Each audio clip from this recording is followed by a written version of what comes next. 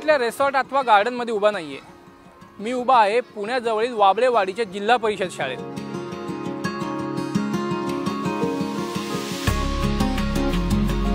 शासनाने ह्या शाळेला आंतरराष्ट्रीय शाळा म्हणून डिक्लेअर केलेलं आहे. ज्या ठिकाणी बत्तीस मुलं पाच वर्षापूर्वी शिकत होते तिथं आज सहाशे दहा मुलं शिकत आहेत आणि चार हजारपेक्षा जास्त मुलांचं वेटिंग लिस्टला नावं आहेत.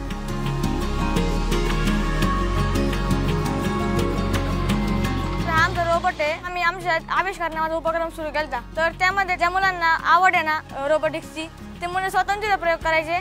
तर त्या त्याच्यामध्ये आम्ही हा रोबोट बनवलेला.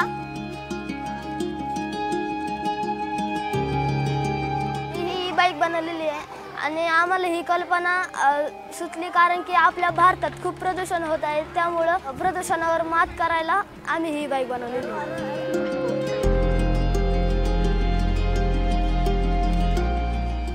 speak uh, English very fluently. So basically, we just think that we student can don't speak the English.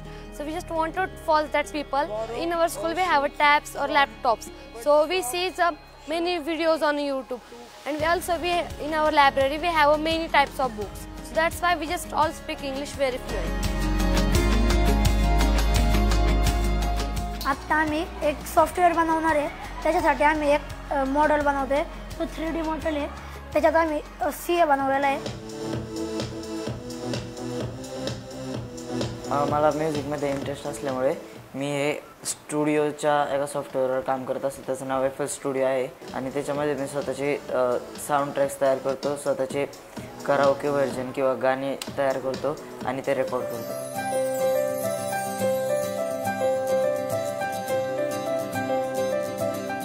वर्गामध्ये बसल्यानंतर मुलांना बाहेर बसल्याचं फिलिंग येऊ शकतं का?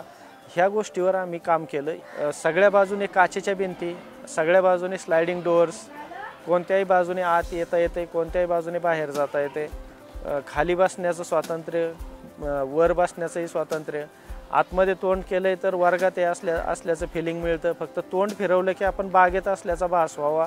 अशा पद्धतीने नियोजन केलेलं आहे. डबल लेअर्ड रूफ आहे याला. कितीही टेम्परेचर असलं बाहेर तरी आतमध्ये मात्र वीस बावीस वर ते टेम्परेचर कॉन्स्टंट राहू शकतं. अशा पद्धतीची त्याची रचना. अशा खूप सारे फायदे मुलांसाठीचे या रूममध्ये आहेत.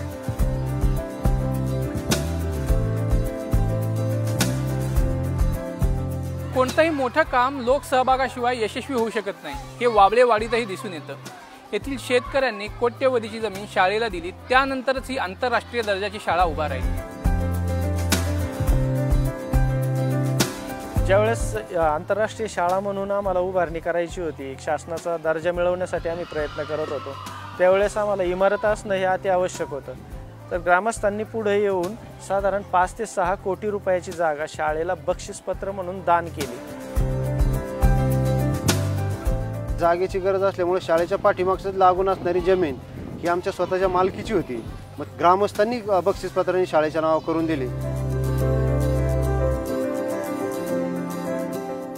भविष्यासंदर्भात आमचं एकच धोरण असणार. वीस वर्षानंतर हे जग कसं असेल? त्या वीस वर्षानंतरच्या जगाचा विचार करून त्यामध्ये टॉप टेन मध्ये कोणती क्षेत्र असतील? त्या क्षेत्रांची माहिती मुलांना हे शिक्षण घेत असतानाच होईल अशा पद्धतीचं नियोजन आम्ही सध्या करतोय.